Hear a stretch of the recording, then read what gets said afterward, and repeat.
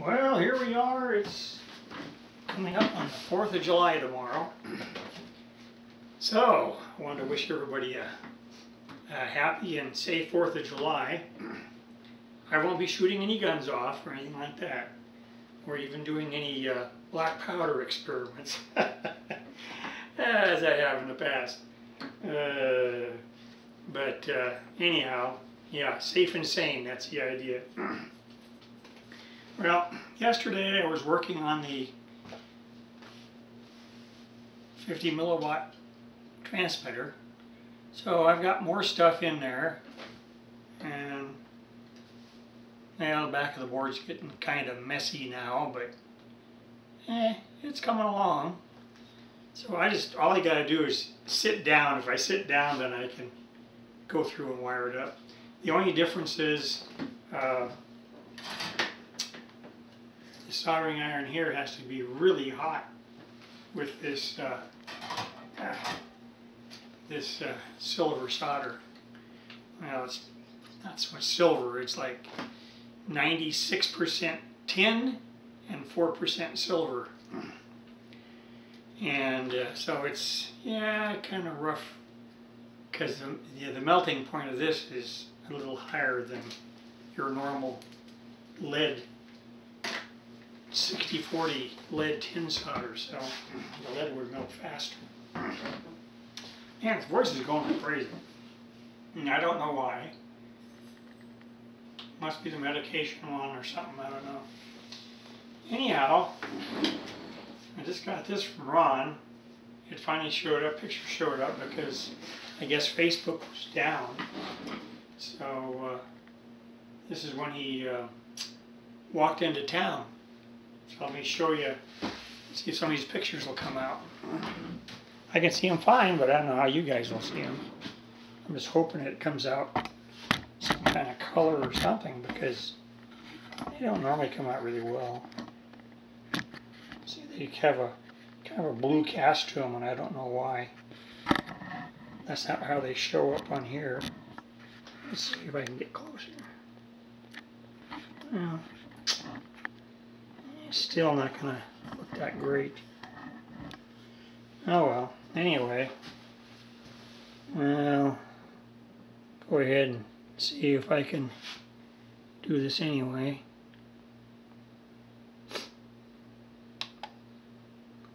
You notice there's a lot of houses on his way there. Well, the inhabited areas, actually.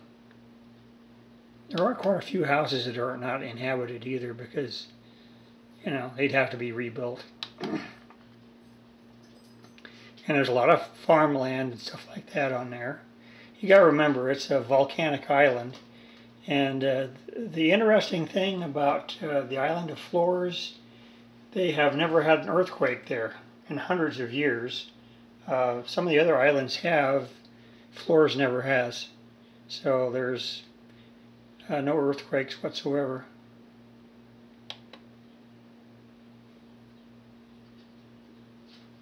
And there's another shot. Now this is as he's walking into town to uh, go to one of the restaurants they have. And yes, they do have restaurants in town. They have one that's I guess Chinese, and the others, other four or five are uh, uh, uh local Portuguese that run it.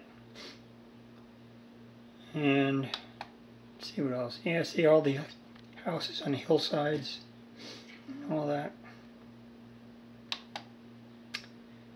And there's quite a few uh, old places and most of the places are actually built out of either concrete or concrete and stone. And why is that? Because they have some really really bad hurricanes that come through. They have two or three of them during the hurricane season. So if you had a wooden house wouldn't last very long. It would be gone. But yeah everything pretty much grows there you can see and a lot of farmland. My brother actually found the orchard where my that my grandmother's family used to own. Let's see. Alright, anyway. That's pretty much it there. I don't know how much that's going to come out.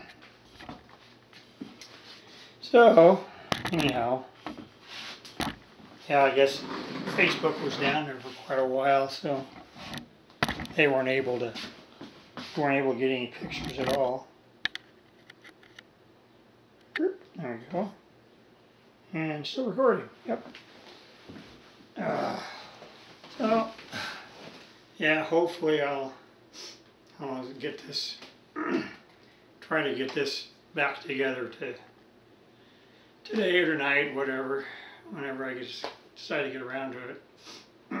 but, uh, actually I did have a, forgot I had this other old radio back here I haven't worked on. I got it taken apart.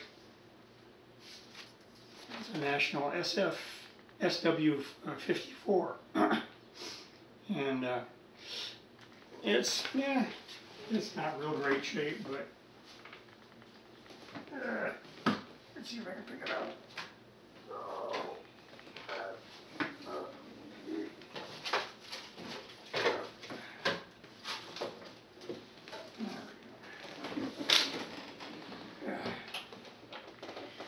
It's this one right here. I got all the knobs and everything taken off. but, yeah, I've worked on it before, just never really finished it. Like everything else around here. I have other radios back here too I haven't finished.